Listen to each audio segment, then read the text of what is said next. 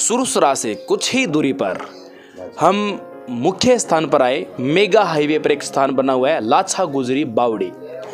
जैसे ही हमने उस बावड़ी को देखा तो मन में कई प्रकार के प्रश्न तैयार हुए। कई प्रकार के दिमाग में क्वेश्चन मार्क लगे कि इतिहास में इतना इम्पोर्टेंट नाम, लाछा गुजरी के कारण ही तेजाजी का नाम चमका था। तेज लाछा गुजरी की गाय यदि मेर की मीणा नहीं लेकर जाते तो तेजाजी महाराज इस प्रकार से वीरगति को प्राप्त नहीं होते और ये इस प्रकार का चमत्कार नहीं होता, न सांप डसता और न सुरसरा का यहाँ कोई महत्व होता। और उस स्थान को देखा तो मेरे दिमाग में कई प्रकार के प्रश्न आए कि ये सरकार ने ऐसे ऐसे स्थानों को महत्व दे रखा है। आबानेरी की बावड़ी है, चाँद बावड़ी है, राजस्थान में सैकड़ों की संख्या में बावड़ी है। हमारे भारत में हज़ारों की संख्या में बावड़ी उनका संरक्षण किया जा रहा किया जा रहा है। लेकिन एक धार्मिक स्थल से जुड़ा हुआ स्थान जिसका संबंध हमारे इतिहास से है जबकि हमारा इतिहास की धरोहर है वो और उसका कोई रखरखाव नहीं है। मैंने उसकी दशा देखी तो मेरे अंदर से आँसू निकलने शुरू हुए कि इसकी क्या दशा है कैसे इसको जर्जर बनाया जा सका है। और मैंने महाराज जी से कुछ उसके लिए शब्द भी सुने। महाराज जी खुद आपको बताएँगे उसकी स्थिति क्या है और क्या ये आ, महाराज जी अपने चार शब्द बताना चाहेंगे। महाराज जी सबसे पहले आपका स्वागत है। बताइए। भाई जब तक इसका जीर्णोद्धार ना हो सरकार इसमें पैसा नहीं लगावे सरकार इसके ऊपर ध्यान नहीं दे जब इतिहास का नाम ही खत्म हो जाएगा। हाँ जी। पंचायत चाहती नहीं वो एक ही जवाब देती है कि ये सरकार की भूमि है। सरकार लाखों करोड़ों रुपये इस भूमि का कमा रही है तो इसका विकास क्यों नहीं हो रहा है? इसका कारण क्या है? ये प्रश्न एक ही जगह नहीं उठता संसार में हर धर्म काम के कार्य में उठ जाता है। तो ये सरकारी कर्मचारी क्या कर रहे हैं? नेता लोग क्या कर रहे हैं? इसके नाम से केवल कमाना खाना जानते हैं? और मेन चीज़ को भूल आ करके और तोड़ के नष्ट करना चाहते हैं ये शायद सरकारी कर्मचारियों के गुण हैं। हमें ऐसा ही कुछ महसूस हो रहा है, क्योंकि संत की ज़िंदगी शांति प्रक्रिया की है, ना कि उसको उछालने की। धन्यवाद। महाराज जी मैं एक बात और आपसे जानना चाहूँगा। ये जगह जो है, लाछा गुजरी की यहाँ प्रतिमा लगी हुई है, उनका स्मारक बना हुआ है। लाछा गुजरी के स्थान से इन संतों का इस प्रकार क्या संबंध निकला, मुझे एक बार थोड़ा सा बताएँ।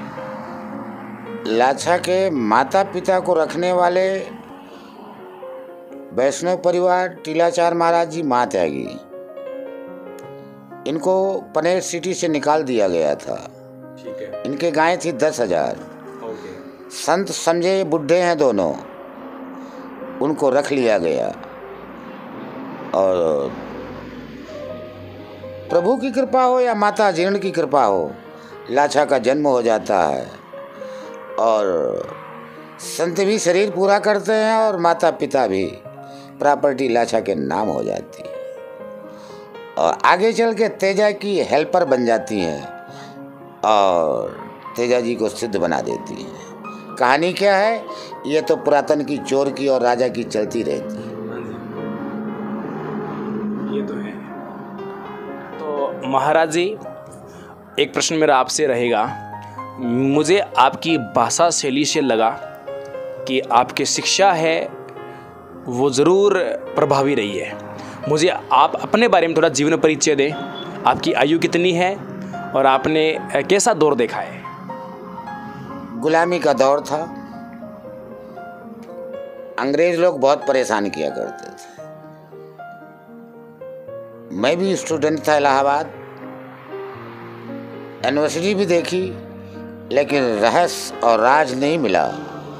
संत को संत रह गए और संघर्ष करते रहे देश आज़ाद कर लिए और जीवन 98 का पूरा हो गया।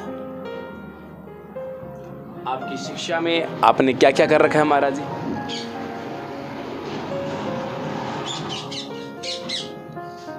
मैंने अध्ययन करने के बाद उसका यूज़ ही नहीं किया तो उसको क्या कहा जाए?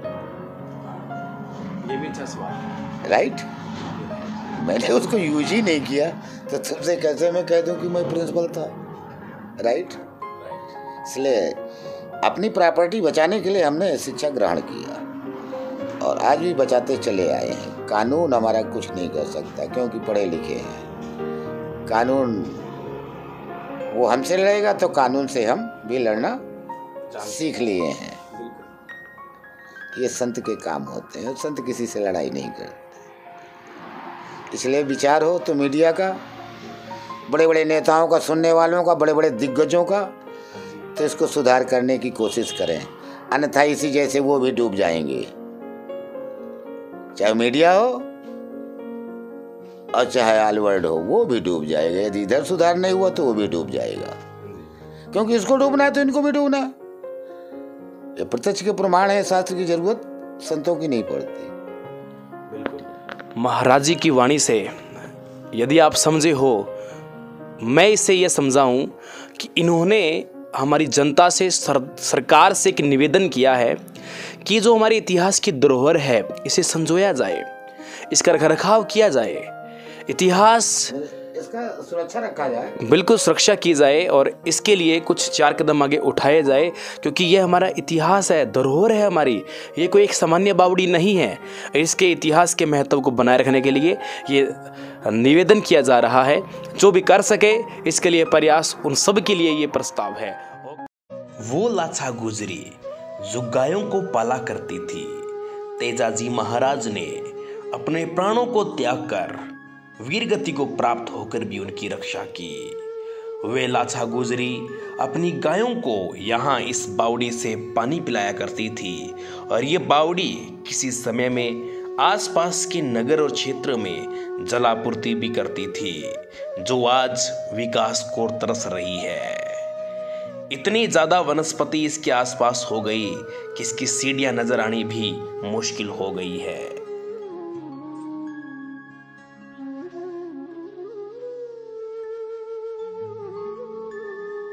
के इसी प्रकार मैं आपके लिए नई नई जानकारी लेके आता रहूँगा। जय हिंद, जय भारत।